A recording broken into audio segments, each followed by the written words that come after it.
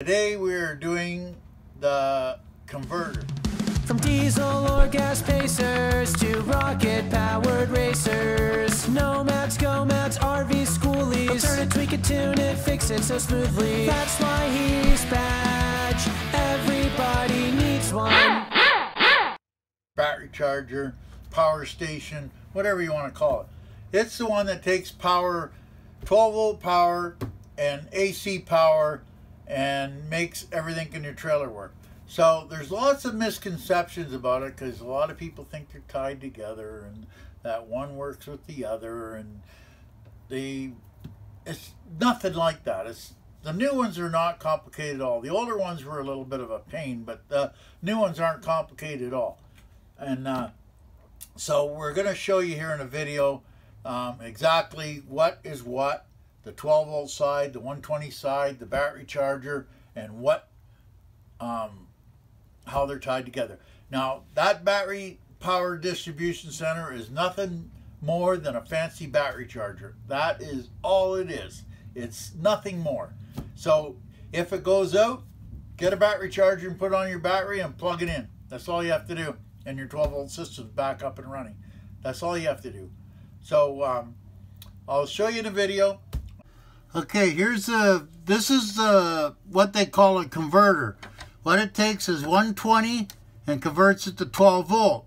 Now everybody's under a really, there's a lot of different ways of thinking about this, but not very many people, like people think this is all tied together. It's not really tied together. All there is is this battery converter. You take 120 volts in here and it puts 12 volt out to the battery. Now, this is why you could run it without a battery because these wires go right here to the panel, not to the battery. So you can run your trailer without a battery in it because the power comes up through the red wire into there and the ground's there. And this is the ground to the um, to the battery outside, right? This is the power wires here, and this is the power wires from the from this charger. This is nothing more than a glorified battery charger. That's all it is. Now, if for some reason this goes out, you just put a battery charger on your battery. That's all you need to do, and everything will run the same. Like the old ones used to have um, solenoids and all that stuff. They don't have that now. All it is is a battery charger. Takes 120 and turns it into 12 volt. That is it. Now, on this side, it's all breakers. Now, you'll notice I have a whole bunch off because we don't use them, right? This is uh, the 15 amp power circuit. We're on 30 amp right now. And we don't use the air conditioner. We don't use the hot water tank. And this is a converter. Okay, now this is this is, now I turned on my 12 volt, right? And I'll show you that in a minute. Okay, now on the 12 volt side, forget the 120. Well, forget the 120, 12 volt side. Now you got fuses here and you got two 40 amp fuses. This comes from the battery. Now, they used to have these on the outside, but they had lots of problems with them. So now you don't need a fuse between the battery coming in. You don't need it. So now, if a, say for instance, one of these fuses blows, if the fuse blows and there's power to it, it will give you a red light to tell you the fuse is gone. You put in a brand new fuse and the light will go out. It doesn't matter what it is. Whatever circuit the fuse is, right? You put it back in.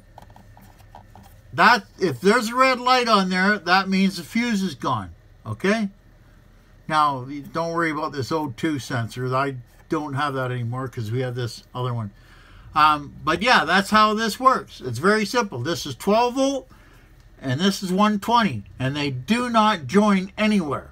What this is, is that you have to these battery chargers that come with it are very cheap and they'll will boil your batteries or they'll they're not good for your batteries. That's why you only get about two years out of an RV battery. That's why, because the battery charger.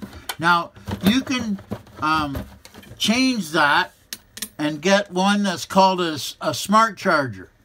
And it'll charge it up, turn itself off, and so on. And you can get one of these.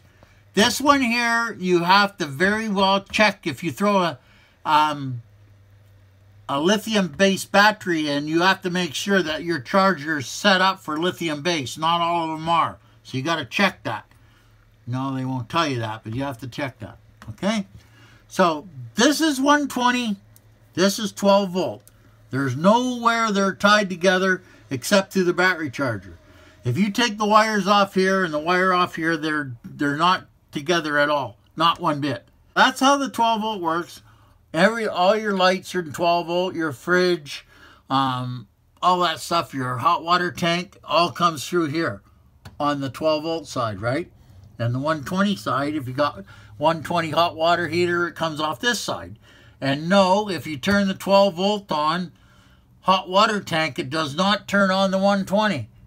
And if you turn the 120 on, it doesn't turn the 12 volt on. They're not tied together. That's what I'm trying to get through, is that they're not tied together. So they're totally two separate systems, and the only thing that makes them together is when you plug in the shore power. So I'll leave that with you. Hope you get something out of it. Life, liberty, and the pursuit of happiness are traits deeply ingrained in our country's DNA.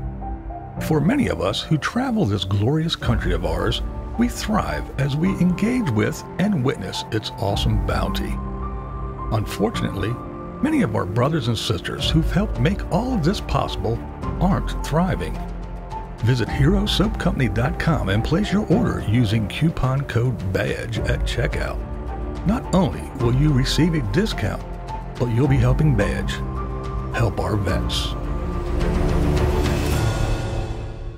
I believe in the soap. I've tried it. It works awesome. And that's why I'm doing it badge. Everybody needs one. And we love our badge. And remember, he's not asking.